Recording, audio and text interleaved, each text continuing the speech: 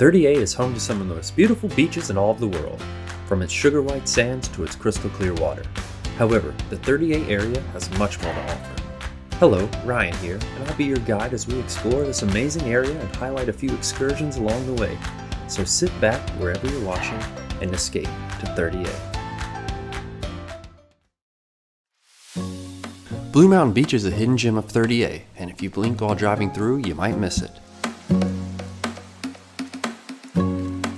Blue Mountain Beach is named after the blue lupine flowers that grow from the dunes, and the fact that the area is home to South Walton's highest elevation, which is a whopping 65 feet.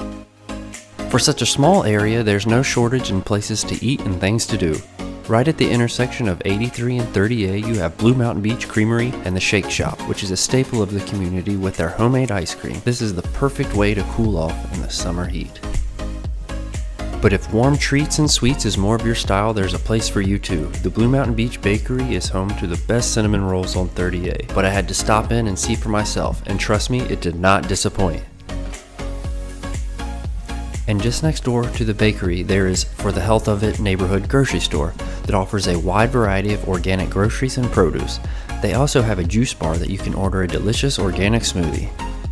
After filling up there, you can rent a bike from Big Daddy's Bike Shop and ride down 30A and pick where you want to eat for dinner.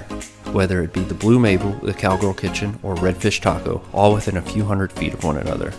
Blue Mountain Beach is just a great area for anyone who wants to enjoy that laid back beach town feeling. Thank you for watching this week's episode of Escape to 30A.